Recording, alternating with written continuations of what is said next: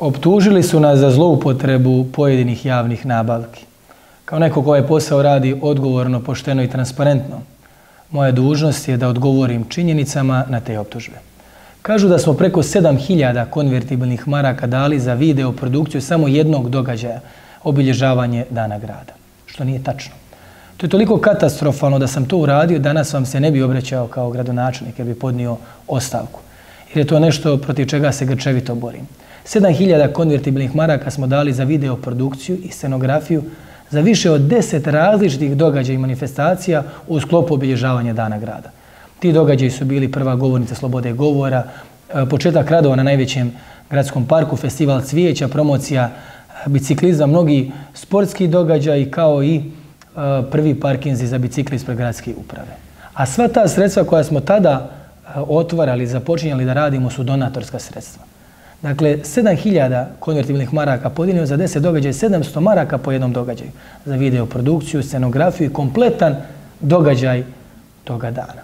A sredstva koja smo tada dobili za te projekte su donatorska. Od porodica, kompanija i prijatelja našeg grada. I to je česmo u parku Mladen Stojanović. I to je park u Rosuljama koji je moja porodica poklanja gradu. Govorim sam lično iz svojih sredstava htio da bude moj poklon gradu. Dakle, preko 80% sredstava je donatorski. Dakle, ovo je bilo najubimnije po događajima obilježavanje dana grada, najskromnije po sredstvima. I na to sam ponosan. I to je činjenica. I to su argumenti. I to niko ne može apsolutno da povrne. I želim to glasno da kažem. Ali to neki mediji namjerno čuvate. I ponosan sam na to. I argumentima branim i čekao sam da prođe neko vrijeme da prosto to tako kažemo. Kažu da smo proces vakcinacije zloupotrijebili jer smo evo samo jednu firmu kao povlašteni položaj stavili. Nije to činjenica.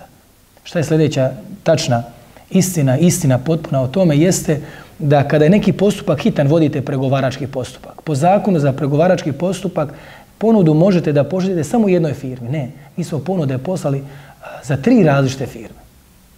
I tražili smo najpovoljniju ponudu. I dobili smo. Kažu da je cijena koštala, tako su e, i uzeli jedan dio te javne nabavke, dve marke 69 fininga, jedna kesa što je šest puta više od tržne cijene. A znate šta je činjenica? Da je dvije marke 69 feninga, jedan paket u kojem je 20 kesa i samim tim cijena je tri puta povoljnija od tržne. To su argumenti, to su činjenice. I može svako da pogleda. A kako su došli do tih podataka? Pa zato što smo sve te podatke objavili na sajt grada, na billboarde, na city lightove širom grada. I prva smo uprava koja na taj način sve transparentno objavljuje svaku javnu nabavku i svaki račun. I sve ovo može da vidi svaki građanin. Ne treba da se bavite istraživačkim novinarstvom jer je sve javno i transparentno. I tako ćemo nastaviti. Ovo je njihov odgovor na naše čvrsto opredeljenje da se suprostavimo kriminalu, korupciji, tajkunima i privatizovanoj državi. To je njihov odgovor da nas bar malo uprljaju kao što su već ovi na nivou Republike Srpske ti političari prljavi zbog svojih afera, kriminala, izmišljenih prointertendera i ostalo. Međutim, neće moći.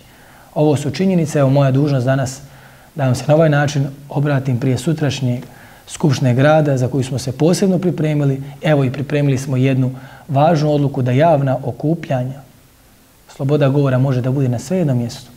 Skupštinska većina to nije ni dala da ide u skupštinsku proceduru. Mi smo za promjene, neko želi da uspori. Ali promjene su krenule i to je voz koji ide i koji niko ne može da zaustavi. Hvala vam na podršci, a našu borbu nastavljamo snažno, čvrsto, dalje. Hvala puno.